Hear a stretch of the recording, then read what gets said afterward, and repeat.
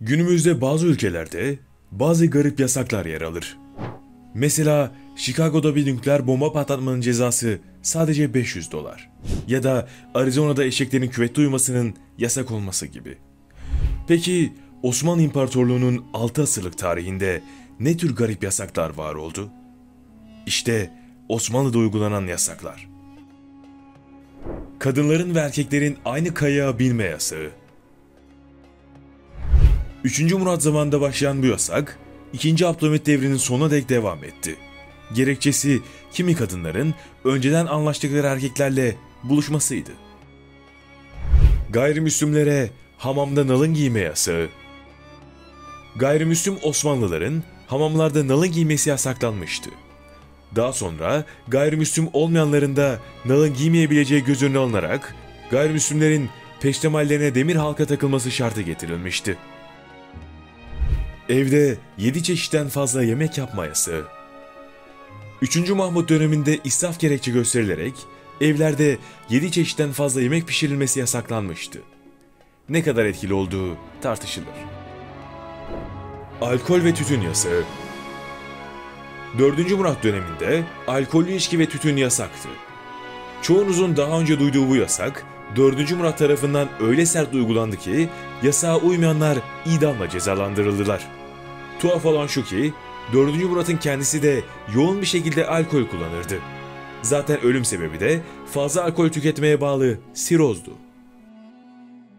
Kadınların kaymakçılara girme yasağı 2. Selim döneminde Eyüp Sultan ziyaretine giden kadınların önceden anlaştıkları erkeklerle buluşmalarını önlemek için semtteki meşhur kaymakçılara gitmesi yasaklanmıştı.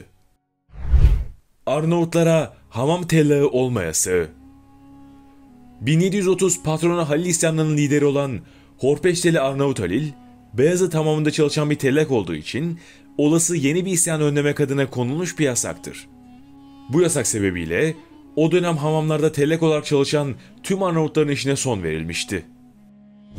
Gayrimüslimlere cariye satma yasağı İstanbul'da büyük bir esir pazarı bulunuyordu. Ticaret amacıyla gelen yabancılar buradan esir ve cariyeleri alıp kullandıktan sonra sokağa bıraktıkları için 1559 yılında çıkartılan kanunla gayrimüslimlere esir satılması yasaklandı. Sokağa çıkma yasağı Yatsı ezanıyla sabah ezanı arasında uygulanan bu yasak, sokakların güvenliği yeterli olmadığından ve geceleri sokağa çıkan halkın bir ayaklanmaya neden olabileceği düşünülerek uzun yıllar uygulanmıştır.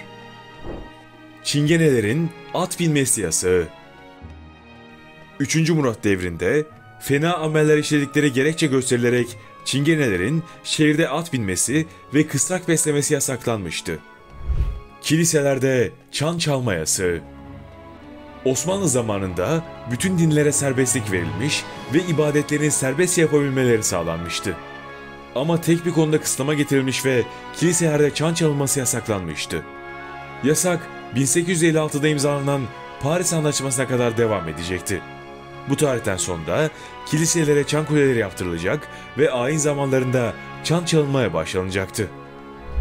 Surların üzerine ev yapma yasağı İstanbul'un fethinden bir müddet sonra temel ve duvar masrafından kurtulmak isteyen vatandaşlar şehir surlarının üzerine veya yanına evler ve dükkanlar yapmaya başlamıştı. Kaçak yapıların zamanla artması sebebiyle bir ferman yayınlandı ve bundan böyle İstanbul surlarının iç ve dış tarafına ev ve dükkan yapılması yasaklandı. Videoda bahsetmediğim, sizin bildiğiniz yasaklar varsa yorumlarda belirtebilirsiniz. İzlediğiniz için teşekkürler. Kanalıma abone olmayı, yorum yapmayı ve videoyu beğenmeyi unutmayın. Yeni videolarda görüşmek üzere.